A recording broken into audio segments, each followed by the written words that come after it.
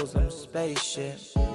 Rocket power through the vein ship. OTV.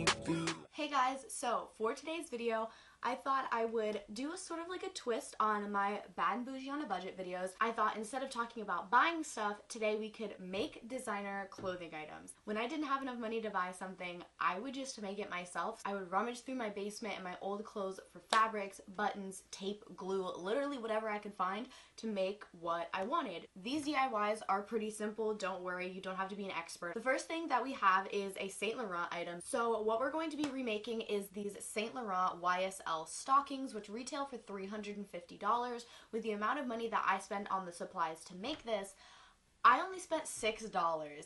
Um, and it honestly, this is going to take like 15, maybe 20 minutes at the most to do. The first thing you're going to need, obviously, is a pair of stockings. You might already actually have these in your closet, so if you do, perfect.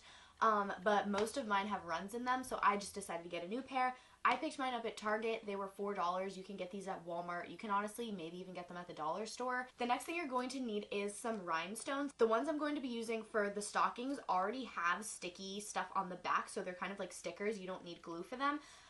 100% don't recommend using glued on rhinestones. Use the ones that already have sticky stuff. It's going to make it 10 times easier, 10 times less messy. Just just don't. These are only $2 at the craft store, so that's great.